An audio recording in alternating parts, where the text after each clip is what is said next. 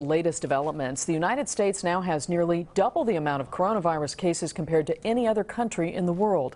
Los Angeles County recorded more than 1,000 new cases in the past two days, and city and state leaders are working to get supplies in place to help hospitals with the expected surge of patients. Uh, California Governor Gavin Newsom says masks could be worn to help prevent infection, but they should not be a substitute for social distancing.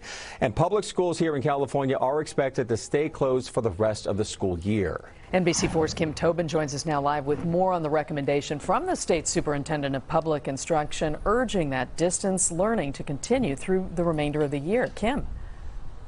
Hi, everyone. Good afternoon. Tony Thurmond is still talking right now at this point. He says the state's guidelines is for all campuses to close for the remainder of the year, but ultimately that final decision lies in the hands of each district. We reached out to LAUSD. So far, they say they have no comment, but we did hear from the Orange County superintendent. He says he is encouraging all campuses to close down for the remainder of the year. Thurmond says even though this is happening, they're still encouraging that distance learning.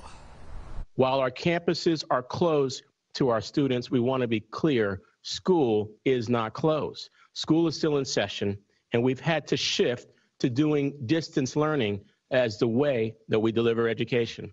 We know it is a tall order.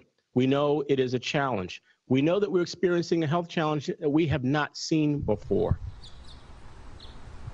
Thurmond says even though they have this going on, they're working with teachers to train them for this new normal. They're offering webinars and asking teachers what kind of tech help they might need at home. Governor Gavin Newsom also announced a partnership with Google. The company is providing thousands of free Chromebooks for children and 100,000 points of access to internet all across the state so that all students have a chance to take part in that online learning at their home. And I did talk to one fourth grade teacher from Luther Burbank Elementary in Long Beach. That's the Unified School District there. Elizabeth Curtis has been teaching for more than 20 years. She says in all of her time, she never thought she would have to teach her kids over a computer, and it's been a really tough adjustment. She says it's also hard to know that they won't be going back to class this school year.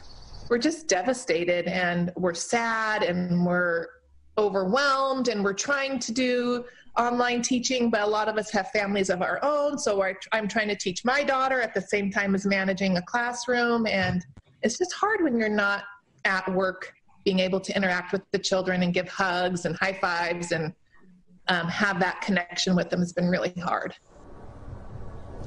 But teachers are making the most of this, using different platforms to interact with their students and taking on the challenge of this new way of teaching. Many teachers say they do feel supported by their districts during that time. But again, we are waiting to hear from each district if they will close all campuses for the remainder of the year. Thurmond also mentioned and acknowledged that he knows this has been a major challenge for families, but he's encouraging everyone to rise together for the sake of the education of their children. Reporting live, Kim Tobin, NBC4 News. Kim, thank you. We want to get back to that breaking news.